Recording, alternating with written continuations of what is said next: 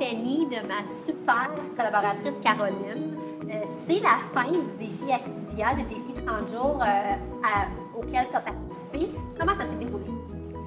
Ça s'est vraiment bien passé. Honnêtement, je suis vraiment contente. C'est une belle progression au fil des semaines. Euh, c'est vraiment une super belle opportunité. Je suis vraiment contente d'avoir pu prendre ce temps-là pour moi. Comment tu te sens?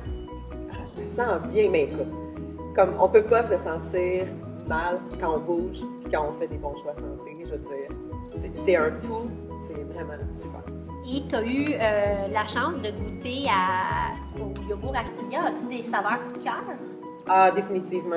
Euh, ben, celui qu'on tient dans nos mains, là, le yogourt grec euh, vanille, les options que l'on peut faire avec ce yogourt-là sont infinies. On peut les mélanger avec nos fruits favoris, avec euh, en tout cas, vraiment, j'en ai parlé, là, ça a été vraiment mon coup de cœur. J'ai été étonnée de celui à l'ananas. Ça, c'est super bon. Je suis vraiment contente que tu as eu euh, le goût de participer. Euh, j'ai eu vraiment du plaisir à te lire. Moi, ça m'a motivé à moi aussi euh, penser à moi, me reprendre en main.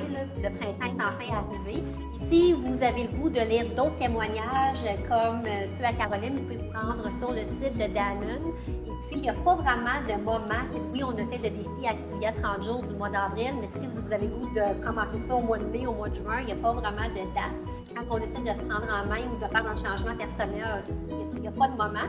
Et puis, euh, euh, merci encore, Caroline. Mon plaisir.